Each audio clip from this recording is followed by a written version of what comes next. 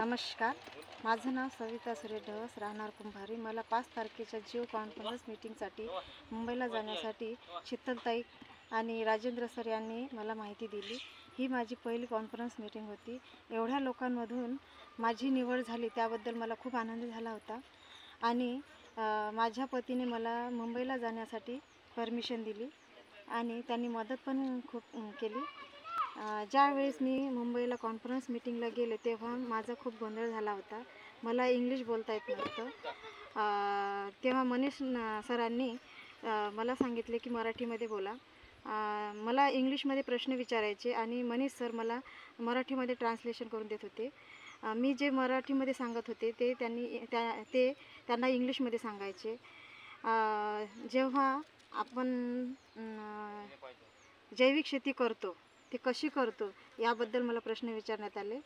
आणि दूर प्रदेशातून प्रदेशातून जे सर आले होते मॅडम आल्या होत्या त्यांच्याशी माझी ओळख करून दिली.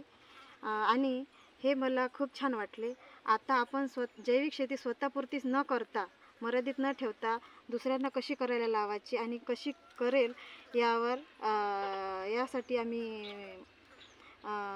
असं आम्ही ठरवलं.